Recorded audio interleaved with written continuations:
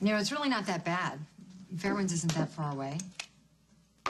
I don't care if it's right next door. Liberty needs to be with family. You and Paul are not family. But Liberty doesn't want to raise this child, and we do. It, it, it's a win-win for everyone. Why can't you see that? Oh, I'm sorry. I just can't see how you, being the parents of my grandchild, is a win-win. Well, you know what? You can pass judgment all you'd like, but Paul and I have the ability and the resources to take care of this child. And I swear to you, we will, we will love this baby with all our hearts. I'm ready to go now. Sweetie, can we please just talk about this? You mean stay? And listen to you tell me what I'm doing is wrong? No more, Mom. I'll be outside.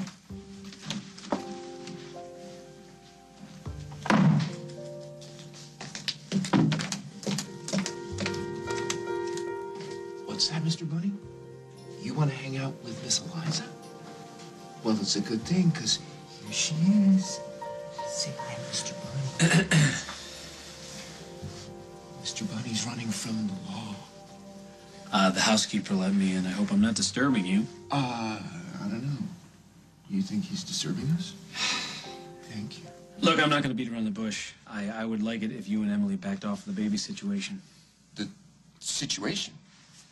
Um, L- Liberty is uh, asking us to adopt her baby.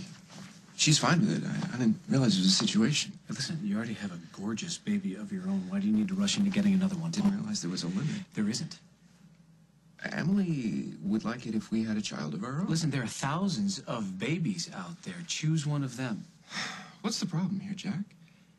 I mean, we didn't twist Liberty's arm into giving up her baby for adoption, and we didn't ask her to choose us. Then, then you unchoose her, because right now all you're doing is upsetting Liberty and her mother. Oh, okay. Now I get it. This isn't about Liberty at all. You're worried that Janet's going to go over the deep end. No, no, Liberty is my stepdaughter, and I have every right to look You after gotta her look out best for it, interests. Jack. If you'd like, I can write down what the warning signs are. There's got to be something we can do here, Paul. There's something you can do. You can get Janet to back off her prejudicial attitude towards me and Emily because Liberty wants us to be the parents of this child, and there's nothing you can do to stop that from happening. I saw Paul with Eliza this morning. He seems to know what he's doing. He was good with her. Playing peekaboo uh, twice a week does not a good father make. Yes, bottom line, darling, this isn't up to you. It's up to Liberty. I know that. I know that.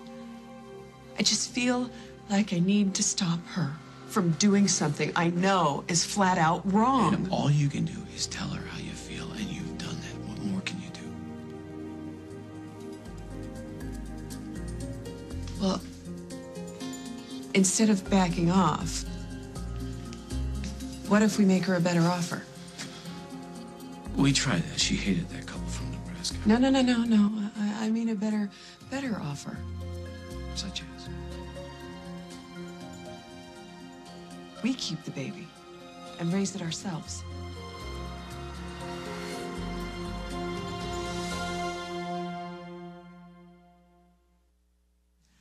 Raise the baby and keep it in the family. And that way, Liberty can go off to college and, and, and she'll know that the baby has a very safe place at home here. And then when she's ready to be a mom, it'll be here for her because I know she'll be a great mom. so I know she will be. glory years raising Liberty. I know, I know, I said that, but my if my mind has been changed, okay? Things change. We have to change with them. Come on, it won't be like me and Liberty. This time, I'll have you. and you know, admit it. This would be the best thing for everybody. Listen, if my parents had made this offer to me when I was pregnant with Liberty, I would have jumped at the chance. Liberty's not you. I know. She is so much better than I could ever have been. She's got a real future ahead of her, uh-huh. and I want to make sure that she gets that chance for that future. Oh, come on, Jack. This could be good. This could be really good. Please.